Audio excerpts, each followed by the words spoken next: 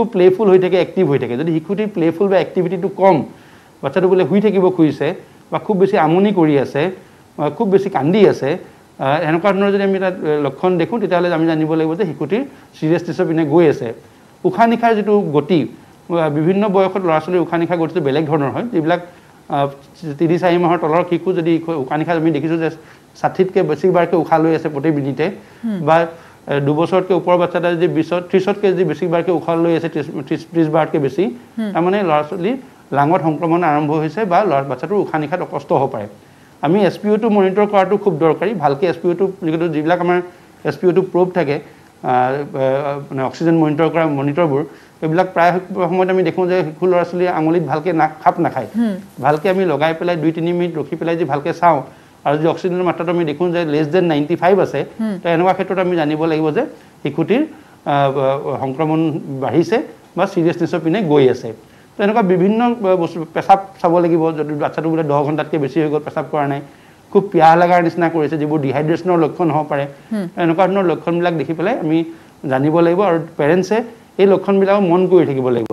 যদি এনেকুৱা যদি উশাহ ল'বলৈ কষ্ট পোৱাৰ নিচিনা খৰখৰকৈ উশাহ লৈ থকাৰ নিচিনা যদি লাগিছে খুব সোনকালে ডক্তৰক পৰামৰ্শ ল'ব লাগিব আৰু যদি দৰকাৰ হয় হস্পিটেলাইজ কৰিব লাগিব শিশুটিক হয়তো আপুনি যিখিনি কথা কৈছে সেইখিনি একেবাৰে সৰু শিশুখিনিৰ কথা আপুনি হয়তো নিশ্চয়কৈ কৈছে যিখিনি হয়তো ভালদৰে এক্সপ্ৰেছ কৰিব নোৱাৰে যে তেওঁলোকৰ গাটো কেনেকুৱা অনুভৱ হৈ আছে বা আমি যিসকলক হয়তো মনিটৰ কৰিব লাগে। এতিয়া ইয়াৰ লগতে আৰু এটা প্ৰশ্ন আহি পৰে নিশ্চয়কৈ শিশুৰ যেতিয়া আমি আক্ৰান্ত হোৱা সংখ্যাটোৰ কথা যেতিয়া আমি কওঁ বহু সময়ত হয়তো আমি আমি বহু সময়ত দেখোঁ যে অকণমান হয়তো শিশুটি ক'ভিড পজিটিভ হৈছে নে নাই বা অকণমান কষ্ট পাব নেকি টেষ্ট কৰাৰ লগে লগে। তেনে কথাবোৰো ভাবি পিতৃ মাতৃয়ে অকণমান হুহুকা পিছলা কৰে যে টেষ্ট কৰাম নে নকৰাম। পিতৃ মাতৃ আক্ৰান্ত হৈছে তেনেহ'লে ধৰি লৈছে যে হয় শিশুটিও হয়তো আক্ৰান্ত হৈছে। তেনেকুৱা হয়তো কথাবোৰ আহি পৰিব পাৰে গৈ নেকি? আৰু যদিহে তেনেকুৱা হৈছে তেনেহ'লে যিখিনি সংখ্যাৰ কথা আমি পাতি আছোঁ সেই সংখ্যাখিনি আচলতে ৰিপৰ্টত কম হ'ব পাৰে নেকি? ইয়াতকৈ আৰু অধিক হ'ব পাৰে নেকি সংখ্যা? ইয়াত দুটা কথা থাকে। যিটো ফাৰ্ষ্ট ফেজত আছিলে ফাৰ্ষ্ট ফেজত কিন্তু এটা কৰোণা লৈ পেলাই এটা ষ্টিগমা আছিলে মানুহৰ মনত। আৰু বহু পেৰেণ্টছে শিশুৰ ক্ষেত্ৰত টেষ্ট কৰিবৰ কাৰণে মন নকৰিছিলে বা টেষ্ট কৰাৰ কথা ক'লেও ইনফেক্ট বহুত পেৰেণ্টছে ভাল নাপাইছিলে। কিন্তু ছেকেণ্ড ৱেভত এইটো হেৰিটো কমিছে ভয়টো কমিছে। বহু পেৰেণ্টছে নিজাববীয়াকৈ আগবাঢ়ি আহিছে যে মোৰ শিশুটিৰ মই লক্ষণৰ নিচিনা দেখিছোঁ। সাধাৰণ জ্বৰ চৰ্দি কাহতো টেষ্ট কৰাইছে। এইবাৰ কিন্তু টেষ্ট কৰাৰ যিটো মাত্ৰা সেইটো যথেষ্ট ফাৰ্ষ্ট ফেজতকৈ বাঢ়িছে। তাৰ ভিতৰতো হয় আপুনি কোৱাৰ নিচিনা কিছু পেৰেণ্টছৰ এনেকুৱা থাকিব পাৰে যে দেউতাক মাকৰ ক'ভিড পজিটিভ হৈছে শিশুটি লগতে আছে কিন্তু তেওঁলোকে হয়তো শিশুটিক টেষ্ট কৰোৱা নাই। বা টেষ্টটো শিশুটিৰ এনেকুৱা লক্ষণ নাছিলে এই চিমটমেটিক হৈ থাকিব পাৰে যিটো কাৰণে হয়তো চৰি যদি শিশুটিৰ হেৰি হৈছে ইনফেকশ্যন হৈছেও হয়তো টেষ্ট হোৱা নাই। চ' সেনেকুৱা হয়তো আমাৰ খুব কম শতাংশ ল'ৰা ছোৱালী থাকিব যাৰ হয়তো টেষ্ট হোৱা নাই বা অলৰেডি এই চিমটমেটিক ডিজিজ ভুগি তেওঁলোকে টেষ্ট নোহোৱাকৈ পাৰ হৈ যাব পাৰে। হয় এতিয়া ভেকচিনৰ কথালৈ আহিছোঁ। যিহেতু ভেকচিনৰ আমি জানো যে ট্ৰায়েল আৰম্ভ হৈ গৈছে শিশুৰ বাৰ বছৰৰ পৰা ওঠৰ বছৰ বয়সৰ যিখিনি শিশু বা কিশোৰ কিশোৰী তেওঁলোকৰ ক্ষেত্ৰত ভেকচিন হয়তো অচিৰে আমি সেই সুখবৰটো পাম যে তেওঁলোকৰ ক্ষেত্ৰতো ভেকচিন দিব পৰা হৈ গৈছে। এতিয়া কোন ষ্টেজত আছে ভেকচিনৰ গোটেই সেই প্ৰগ্ৰেছ প্ৰক্ৰিয়াটো কি ক'ব এই বিষয়ে? ভেকচিন অলৰেডি অলৰেডি আমি যদি বিদেশৰ কাণ্ট্ৰিৰ লগত চাওঁ তেনেহ'লে ডেফিনেটলি আমেৰিকাত অলৰেডি বাৰ বছৰৰ ওপৰৰ ল'ৰা ছোৱালীক বা ইউ কেত অলৰেডি বাৰ বছৰৰ ওপৰৰ ল'ৰা ছোৱালীক ভেকচিন দিয়া আৰম্ভ হৈ গৈছে।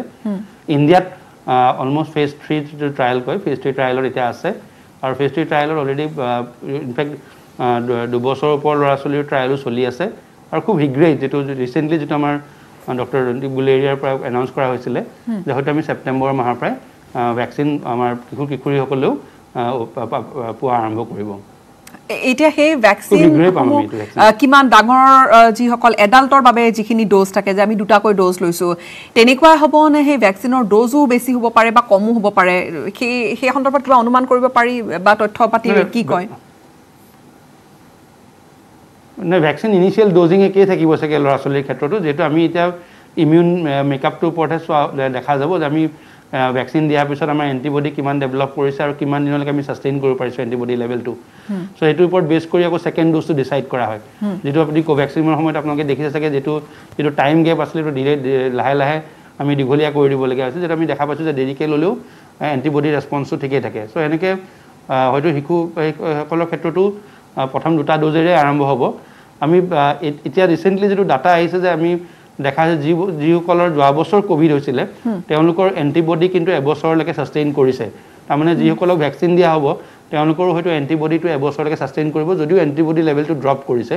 তেতিয়াহ'লে এইটো এবছৰৰ পিছত আমি দেখা পাই ৰিপৰ্টত যেতিয়া আমি টেষ্ট কৰা হ'ব তেতিয়া গম পোৱা হ'ব যে দেখিছোঁ যে এণ্টিবডি লেভেলটো বেছি তললৈ নামিছে। তেতিয়া হয়তো বুষ্টাৰ ড'জ হিচাপে বছৰীয়াকৈ আকৌ ভেকচিন